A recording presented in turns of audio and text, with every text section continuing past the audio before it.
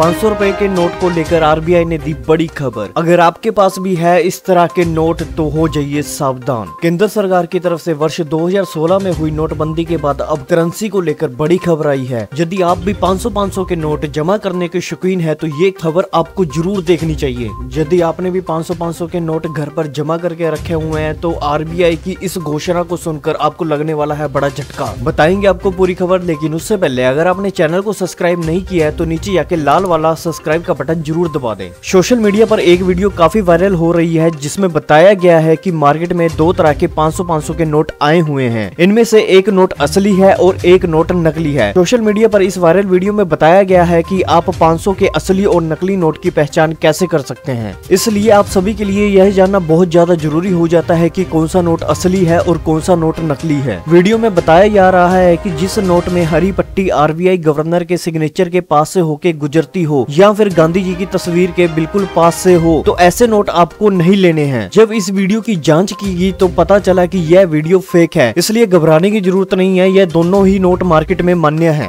आपकी इस बारे में क्या राय है, नीचे कमेंट बॉक्स में ज़रूर बताएँ। और मुझे पता है कि आप लोग चैनल को सब्सक्राइब तो कर ही दोगे।